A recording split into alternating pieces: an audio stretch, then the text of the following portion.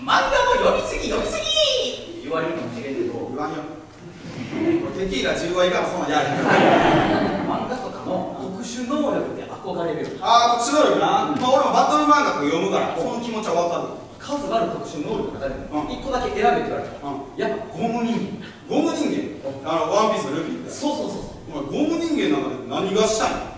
ゴム人間なんて女湯覗きたいね。透明人間になれよ。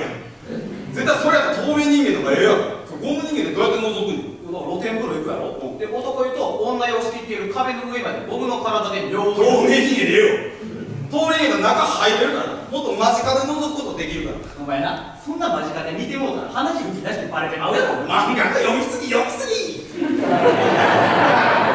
んまテキーラ生成さすな。テキーラを生成さすなこれいやじゃあさ実際話ブーってなることはないやんか仮にそうやとしても、そこまで近づきすぎたら湯気で体に水滴がついたり足音がピチャピチャなったりするからバレる可能性高めやねん。怒りやねん。それに比べてゴム人間やったら露天風呂行って壁の上まで眼球伸ばすだけで眼球伸ばすの？首じゃなくて眼球伸ばすの？伸ばすのが眼球やから。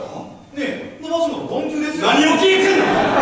ことちゃうからえそうどうやって伸ばすの眼球。なんか腕とかさ首は分かるわ。なんか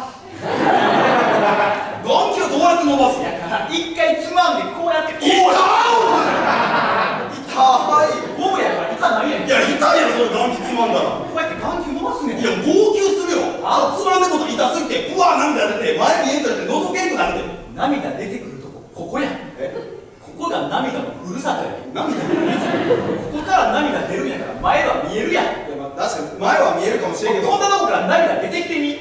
希少すぎるやろずっときしょいのきしょいとかはだいぶ前に通り過ぎてんの結局眼球つまんでバチコンビョーン何やそれ。じゃあゴムやから戻ってくるやんか。眼球つまんでパチコンミョンパチンふるさとバーイ。それは大丈夫やん。何が大丈夫じゃん。露天風呂仕切ってる壁って大概竹がバー立ってるやん。う先っちょの方の竹と竹の間にいかはお前ドンツーの長いドンツーのお前痛すぎる。やん涙出ても大丈夫やいやもう水没する。よあ泣きすぎて涙のふる。さとが水没して海底としてアトランティスになる。で何を言うてんの何を言うてんの俺は結局眼球つまんでバチコンビョーン竹と竹にキュッとじゃあ眼球つまんでバチコン妙竹と竹にキュってや眼球つまんでバチコンビョーン竹と竹にキュッてじゃあ眼球つまんでバチコン妙竹と竹にキュってやっしゃ眼球つまんで妙竹と竹にキュってやってるってバレるよ